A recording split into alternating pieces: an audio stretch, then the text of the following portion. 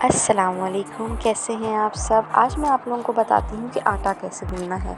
तो मैं किचन में आ गई हूँ, मैंने आटा लिया एक परात के अंदर और पानी डाल के आप देख रहे हैं जिस तरह आप नीट करते हैं, आप उसको पानी डालते रहें, आहिस्ता आहिस्ता ज़्यादा क्वांटिटी एक साथ पानी की मत डालिएगा और अगर ज़्यादा पानी एक साथ डल जाता तो आटा बहुत नरम हो जाता है। यहाँ पे आप देख सकते हैं, मैं दोनों हाथों की मदद से मुखियाँ दे दे के आटे को बना रही हूँ। और जैसे जैसे ज़रूरत पड़ती है, पानी ऐड करते रहें और ट्राई करें कि जो आपका, जो भी बर्तन है इसमें आप आटा गूँध रहे हैं, उसको भी साफ़ करते रहें ताकि आटा ज़ाया ना हो। ठीक है? अब आप देखिए, मेरा आटा ऑलमोस्ट डन है हाफ़ उस पर हो गया था तो फिर मैंने इसके अंदर ऑयल शामिल किया।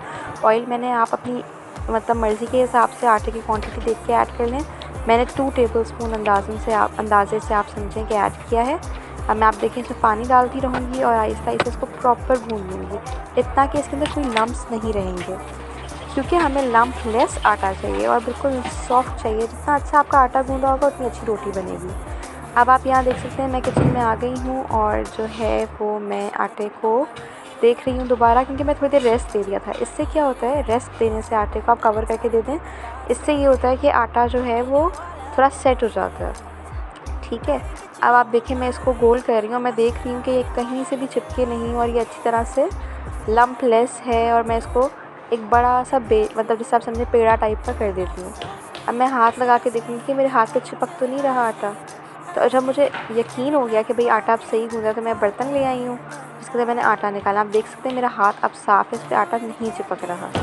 ये निशानी होती है कि आपका आटा अब अच्छी तरह से दो नीड हो चुका है।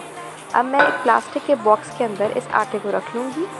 और ये देखिए आप आटा मैंने रख लिया है इसको मैं इक्वल कर दूँगी। ये देखिए।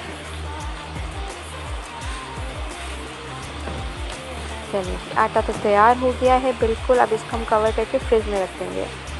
ठीक है? कुछ देर बाद दोबारा मैं किचन में आई हूँ अब मैं रोटी बेल रही हूँ तो मैंने वो भी रिकॉर्ड कर लिया है ताकि मैं आपको दिखा सकूँ। ये देखिए अब गर्म तब तक आप जब तक पेड़े करें तब तक आप अपना स्टोव ऑन करें और तवा गरम करें। पहली रोटी आने तक का तवा गरम हो जाएगा। साथ साथ रोटियाँ बेलें और साथ साथ गरम गरम रोटियाँ पकाते भी जाएँ। चलें, ये देखें एक साइड हो गई, दूसरी साइड सेकी और इसके बाद हमने इसको आग पे अच्छे से सेक लिया। रोटी तैयार। अब आगे खाने की बारी। खाने में आज था कढ़ाई और निहारी। जैसे कि आप देख सकते हैं, और मीठे में था जेली। और थोड़ा सा मेरे पास केक था, उसके स्लाइसेस थे। साथ में मैंने बना ली थी फ्रूट चाट जिसमें सेब केला और